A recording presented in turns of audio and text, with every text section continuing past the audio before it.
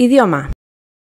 Elige tu idioma preferido para configurar IngoKids y el sistema Android. Selecciona la bandera con el idioma deseado. Para confirmar el idioma, pulsa OK.